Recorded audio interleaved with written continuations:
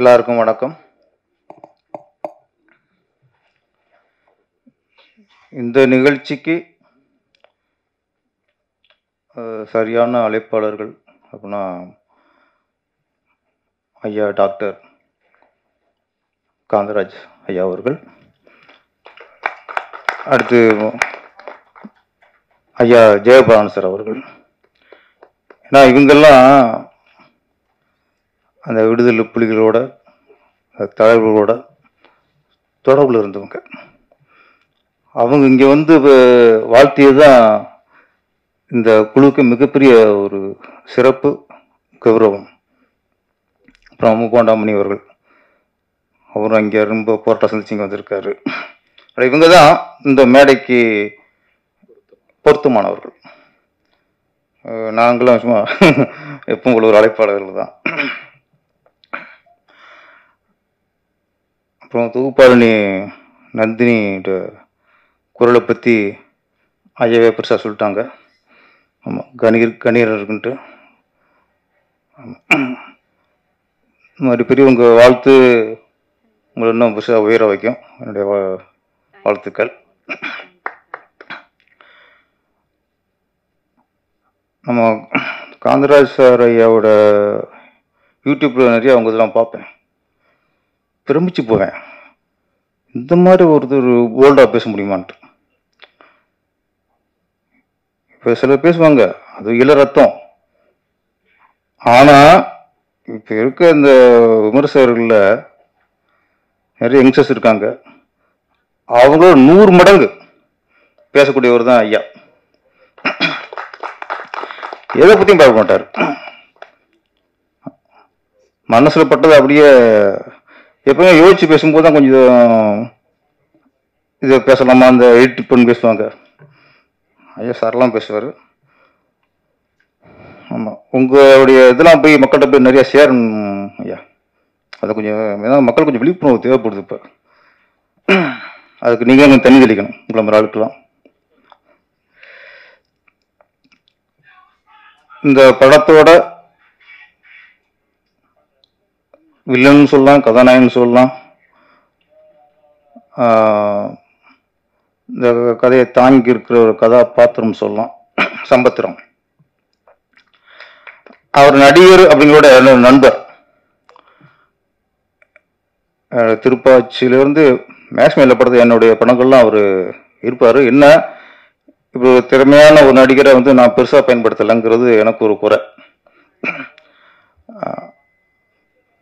தொடர்ந்து அந்த படங்கள் இருப்பார். ஏன்னா சம்பத்ராம் சாரி எம்எஸ் பாஸ்கர் இது மாதிரி சில நடிகர்கள் வந்து தொடர்ந்து என் இருப்பாங்க. அது காரணம் நடிப்பு திறமைகள் அடுத்ததுதான்.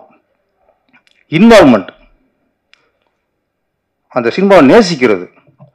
சினிமாவோட சேர்ந்து கட்டி புரண்டு போராடுறது. அந்த மாதிரி நடிகரை பார்க்கும்போது நான் என்னுடைய எல்லா படமும் நான் வந்து பயன்படுத்திக்குவேன். அந்த மாதிரி ஒரு நடிகர் தான் சம்பத்ராம்.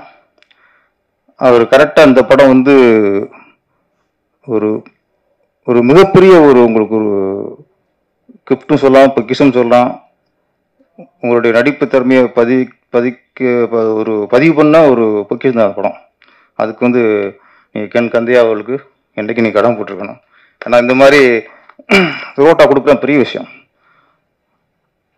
அப்புறம் ஈஸ்வரன் சார் சொன்னார் வசனம் பேசும் நடிகர்லாம் கொதிக்கணும் கொதிக்கணும் அப்படின்ட்டு.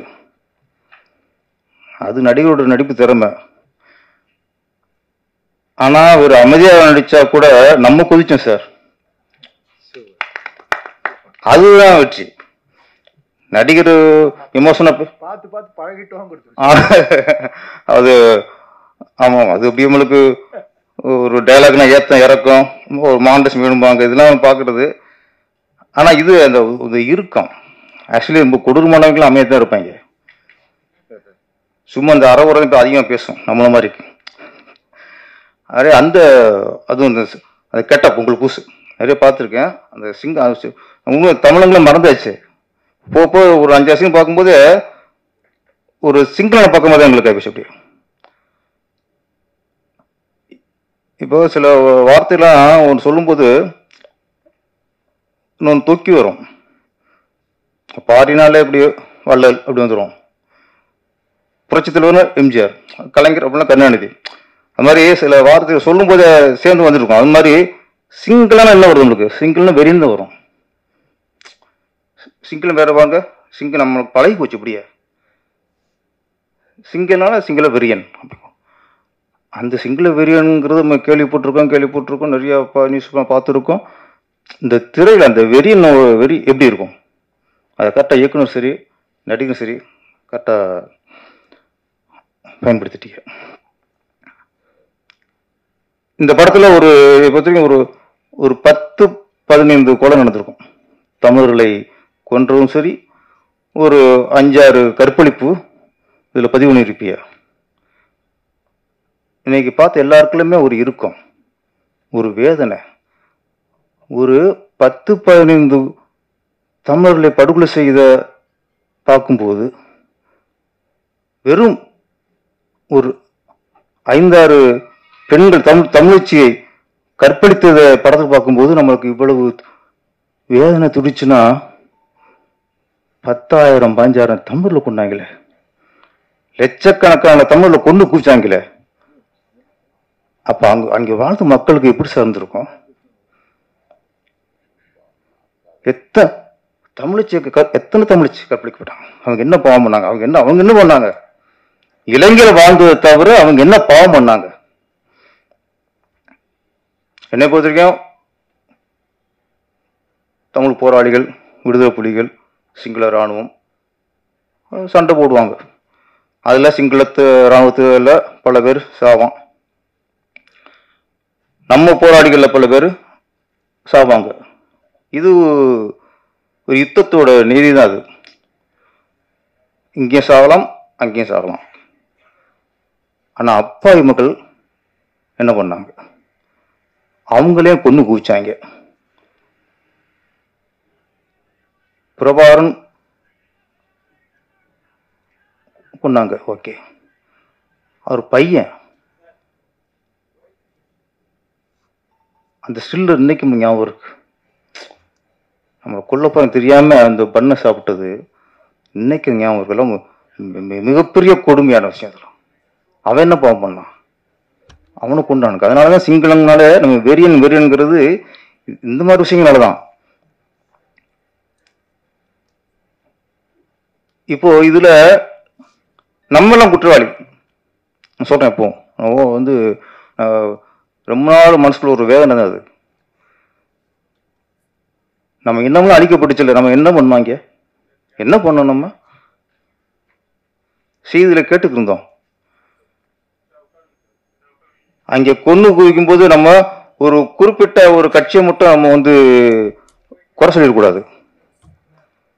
அனைத்து அனைத்து கட்சிகளும் தமிழ்நாடு தமிழ்நாட்டில் இருக்கிற தமிழ்நாட்டை ஓட்டு வாங்கிட்டு இருக்க தமிழ்நாட்டில் பொழப்பு நடத்தியிருக்க அனைத்து கட்சிகளும் அன்னைக்கு சேர்ந்து போராடி இருக்கணும். எந்த யாரு போறான் அன்னைக்கு? இந்த வார் வரக்கு முன்னாடி புரட்சி எம்ஜிஆர்.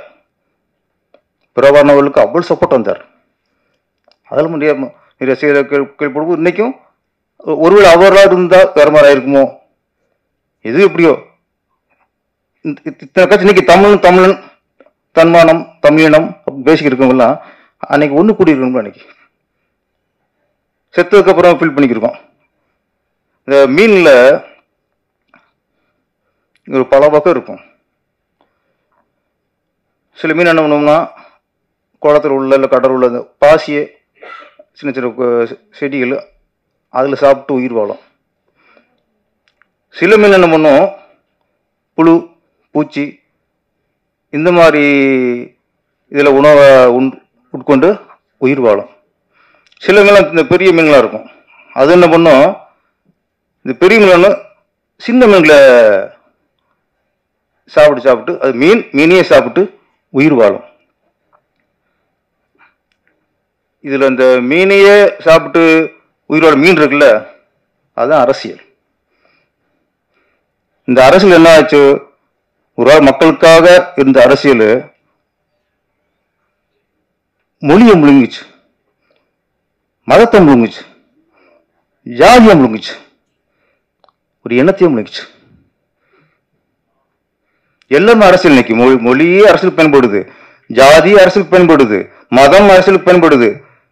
தமிழன் இனம் அரசியல்படுது அப்படி அந்த தமிழ் இனம் அரசியலுக்கு உட்கொண்டதுதான் அந்த ஈழத்தமிழர்கள் படுகொலை.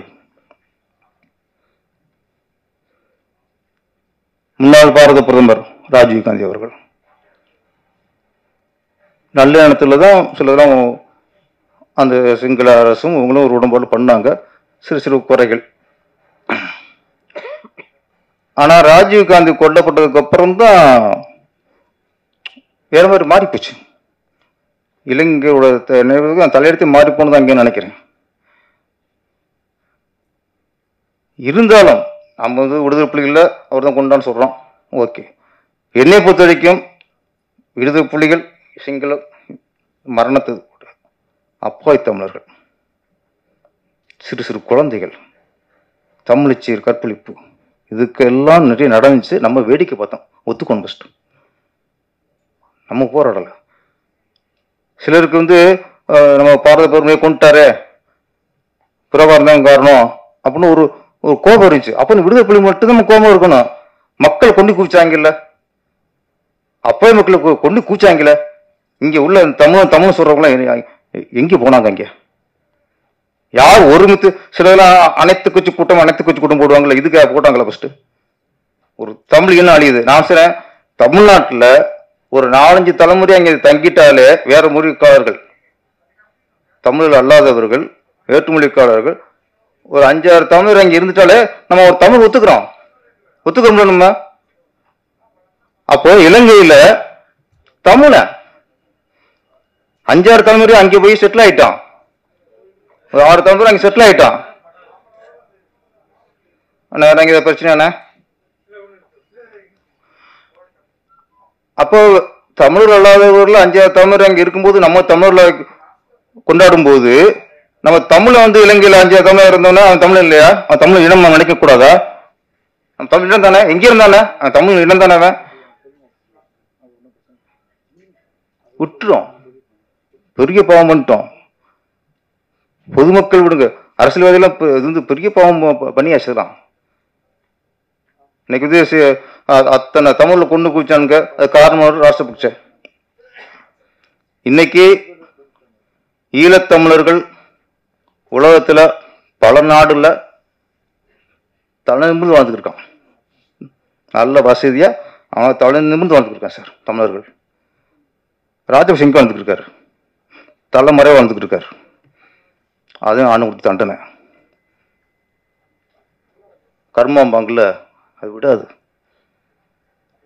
நீ ஓ நாட்டிலையும் இருக்க முடியல. எங்கேயோ இருக்க. அங்கே உன்னால சுதந்திரமா இருக்க முடியல.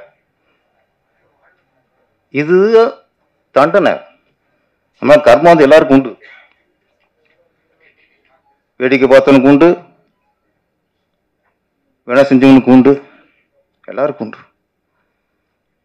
நீங்கள் இந்த படம் பார்க்கும்போது அந்த விடுதலைப்புள்ள எங்கெங்கே இருக்காலும் தேடி தேடி குருவி சுடு மாதிரி சுட்டு கொள்றாப்புல. இதுதான் நாங்கள் அங்கே நடந்துச்சு. இங்கே வந்து படத்துக்கு சின்ன சின்ன ஒரு சின்ன இது ட்ரெய்லர் மாதிரி தான்.